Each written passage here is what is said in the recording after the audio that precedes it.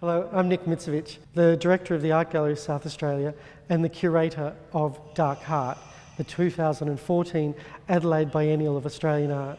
This exhibition taps into the heart of a nation, looking at 28 stories that make up our world today through the eyes of Australian artists from across the country. Well, the dark heart is not, is not just dark. There's lots of shades of grey. There's also glimmers of light. And I think this exhibition explores all of the nuances about the things that we don't necessarily want to talk about, the stories we don't want to fully tell, the emotions that we don't necessarily want to expose. It's an exhibition that hopefully makes you feel and think. This exhibition isn't about art, it's about the world we live in through the eyes of artists. And I think that's an interesting distinction. It's inherently narrative. And so when you look at this exhibition, it is about the stories of the world we live in rather than art looking at itself.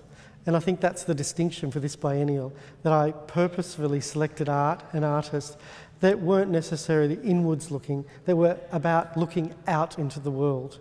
And uh, the exhibition isn't necessarily linear in the way that it tells the stories. It's about experiences. So I've grouped together artists that I feel have uh, a sensitivity to each other's work, one that's an extension of the next. And so as you make your way through this uh, large exhibition, you'll come across works of art that hopefully will lead on to the next. And, uh, and in the end, it's a, it's a story that hopefully unfolds in a logical manner um, and one that pulls at your heartstrings in different ways. Behind me is this extraordinary picture by Ben Quilty, some eight metres in its scale, immersive, looking at Australia as an island, and in front of it, um, 22 life jackets carved in Wombeyan marble by Alex Seton continue the notion that we are adrift within a wider world. Uh, these two works pull at your heartstrings in lots of different ways.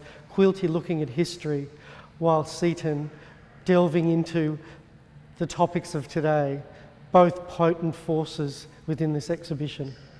Rosemary Laing brings us images full of raw emotion and juxtaposed with the photographs of Rosemary Laing uh, is a collection of some 250 spears by the men from the Jala arts community. And the spears hover over your head, and the tension that that creates is in itself a potent emotion.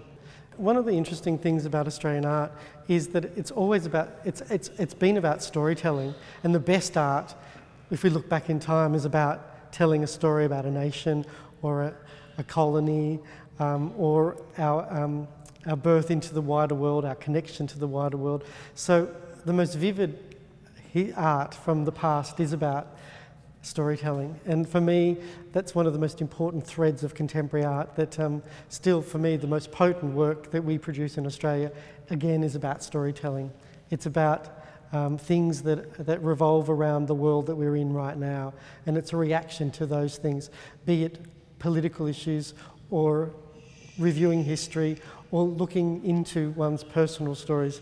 They're all things that I think uh, are really important in the world and uh, important to audiences.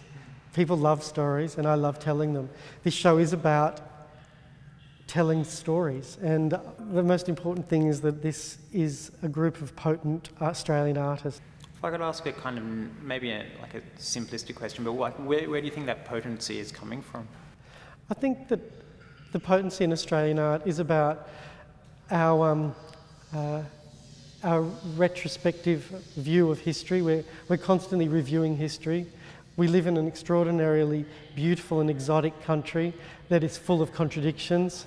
You know, we live a, a very much a, a, Western European lifestyle where we're rooted in, in Asia, um, overlaid with a civilization that's the longest surviving one in the world.